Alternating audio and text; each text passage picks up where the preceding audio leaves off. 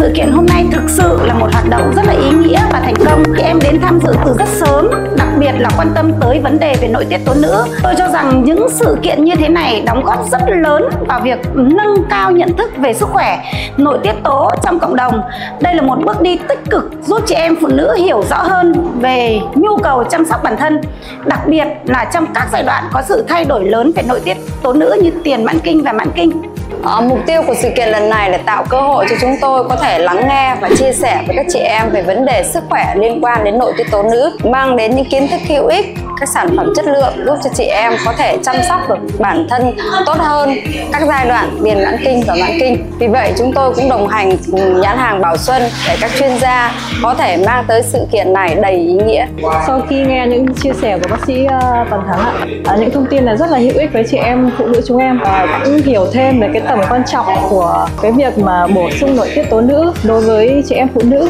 À, và cũng rất mong là bác sĩ cùng ờ, với nhãn hàng Bảo Xuân thì sẽ tổ chức được nhiều chương trình hơn nữa để ờ, chia sẻ cho chị em phụ nữ chúng em.